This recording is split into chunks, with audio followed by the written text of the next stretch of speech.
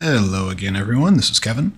Uh, today I'm going to show you uh, with the D3 Disguise server how to interface a MIDI controller. Uh, for this exercise, I'm using a Korg NanoPad 2. I'm sorry, Korg NanoKontrol 2. Uh, but this works with any media server, any MIDI controller whatsoever. So uh, let's let's do this thing.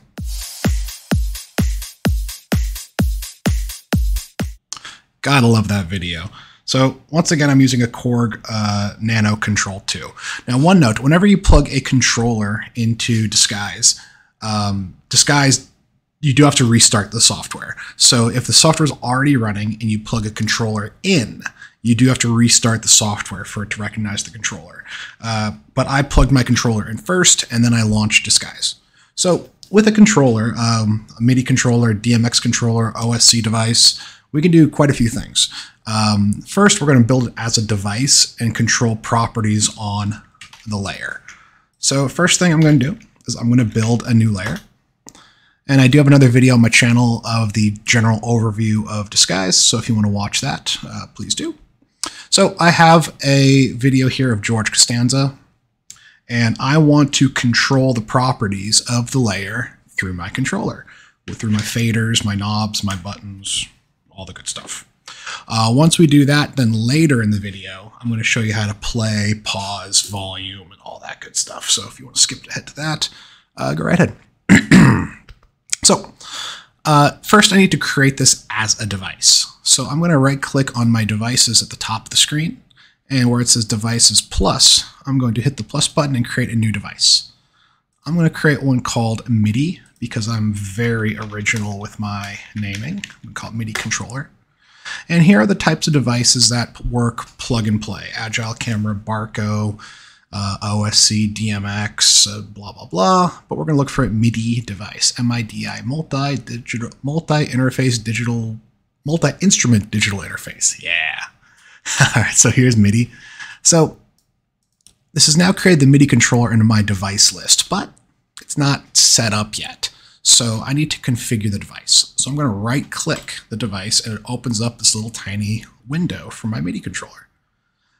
Uh, fun fact, if I'm going to hold control and click the top to pin this to my window, and now I can right click on this MIDI controller window. And I hit edit. This opens up the parameters. So here I could set the MIDI input, MIDI output channels, the I.O. mode. So it's a MIDI input device, MIDI output device. I'm sending MIDI from the controller to the D3. Thus, it's going to be a MIDI in device. So I hit MIDI in, and sure enough, here is NanoKontrol 2. At this point, whatever your controller is should be displaying. Otherwise, once again, try restarting the software, and then, of course, make sure the drivers are installed on your computer. At this point, if I start hitting buttons on my controller, I'm pressing random faders, we do see that it's recognizing that controls are coming in. So here's a little knob. We see that it is showing that there is a level of control coming in. Great. Now time to start building the controller. So on a controller, any type of unique control parameter is referred to as a control set. So my controller has faders, has dials, and it has buttons. So a fader would be a control set. A dial would be a control set. A button would be a control set. Thus, I have three control sets. Uno, dos, three. Now I need to set these control sets. So I'm going to right click on control set one, and I could say what type is it? Is it going to be a dial, a button, a slider, a, uh, a CC button, a note button, keys, or pitch bend? I'm going to do my faders first. So I'm going to select slider. I'm going to say how many of them. Uh, my controller has one, two, three, four, five, six, seven, eight, but I'm just going to do four. One, two, three, four. And notice how four faders now pop up on my controller interface. I'm going to do the same for MIDI control set 2. I'll do my dials. Same thing, I'll do four of them. One, two, three, four. And then I will do buttons and I'm going to do, I'll do six. Oh, now. I'll do four. Why? if it ain't broke, don't fix it. Now I need to do what's called training the controller. So I have my virtualized controller, I have my physical controller, but I need to make them talk with each other. So I'm going to go one at a time and right click on the button here and hit the train button. When I hit train, I'm then going to move the physical fader and it's going to record those values and basically teach D3 what buttons I want to use. So here's fader number one, fader two. So I'm sliding these up after I'm hitting train fader 3, and fader 4. Cool. Now note as I move this first fader, all the other values are coming in because right now it's just kind of flooding it with MIDI information. But uh, once I start training these, that'll all isolate. All right, so now I'm hitting train. I'm turning my dials. I'm turning them all the way up, all the way down, just to prove that I have full control. Great. And now I'm going to do my buttons button, button, button, and button. Great. So now I have all my controls here. So if I move the, the controller, these buttons will stay. Great. So now, what can I do with this controller? So on a layer, any property that can be keyframed, for the most part, can be controlled with an external controller. So if I were to go to default and go to brightness or opacity, I can control this. To do so, I'm going to use the Alt key, A-L-T, the Alt key on my keyboard. I'm going to hold Alt and click from the virtual button to the parameter I want to control. Thus, I'm going to hold Alt and draw from this fader to the blend section. And now as I move my fader, the brightness is changing on the layer. As I mentioned, just about anything can be adjusted. So if I want to do scale for some reason, same idea. I hold the uh, Alt key, draw from the fader to the parameter, and now I can change the zoom. Yay! So this works great on the volume or audio of a video channel, the brightness, the color parameters, really anything I want. Uh, here's a fun one. I'm going to take two dials. I'm going to put them to the XY of the color palette. And now I can kind of VJ the, uh, the colors. Isn't that cute? All right. So now if you want to get rid of these controls, what you're going to do is you're going to right click on the control value and note that it's technically what's called an expression, which is a formula that tells it what it's doing. It's going to scale, MIDI device, MIDI controller, and then the scale parameters. So if I want to undo the control, I can select these and delete them. And now the control has been released. Now, one important note, all of these controls are only for the layer itself. So if I were to create a new video layer, uh, it's actually going to have a new set of controls. So keep that in mind for your workflow, that these controls are now independent for each layer. Great. So that's how you can control parameters with a controller. Now, the other big thing is what if I want to play? I want to pause. I want to go to a previous section, next section. As we remember in fundamentals class, uh, anything that can control the timeline is considered to be what's called a transport. So transport would be where we would set our time code, um, schedulers, set lists, um, things of that nature.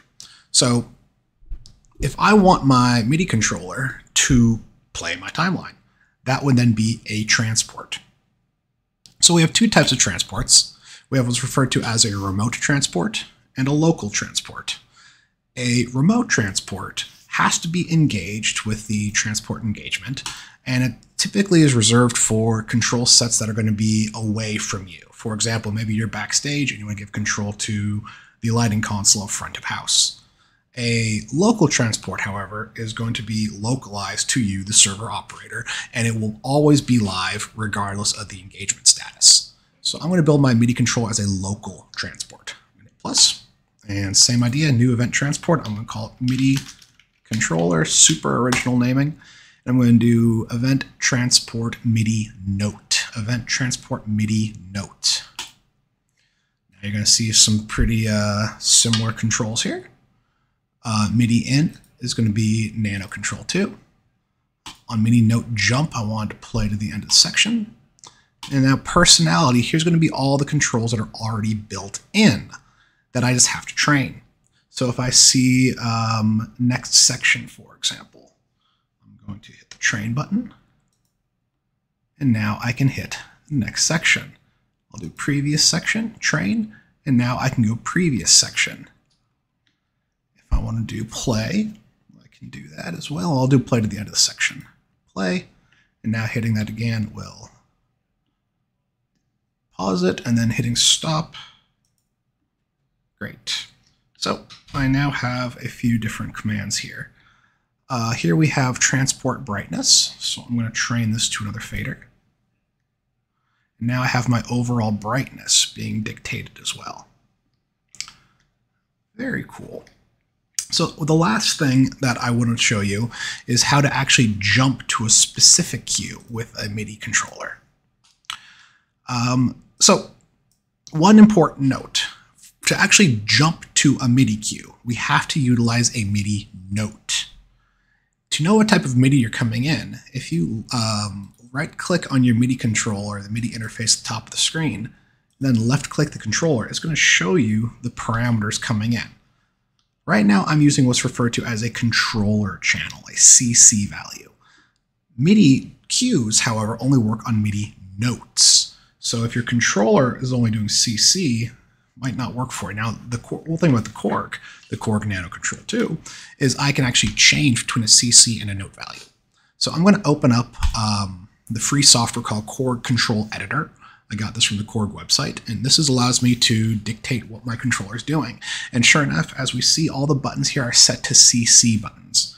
But what I'm going to do is I'm going to click a few of them, and I'm going to change this to be a note uh, value. Oh, that's the fader.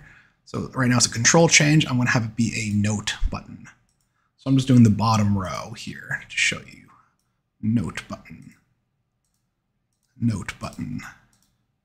Note buttons. Cool. So I have four buttons. And now I'm going to send this to the controller. Oh no. I bet it's because Disguise is open right now. Let's try it one more time. Okay, so I'm going to save, disguise, and exit. And then I'm going to do this. All write, let's try that again. Communication, right, scene data. There we go. Okay, so basically I was trying to change the parameters of the controller while the controller was open in disguise. And uh, no bueno. Ah, great. Cool, so I still have control. So let me go ahead and build another cue just to say that I did. I'll do a new layer, video. Um, sure, it's just the generic content from the training website. So I have three sections. I can, of course, jump between the sections, but what if I want to jump to a particular point as a cue jumper? I can do that. So what I'm going to do is first I'm going to go to my MIDI device. Oops which is you know right up here, my MIDI, left click, and I'm going to see what the note value is. So right here, I can see that when I'm pressing this button, it's giving me note E4, index 64. So note E4, it relates to 64. So 64 is going to be the value that I'm going to use for my cue.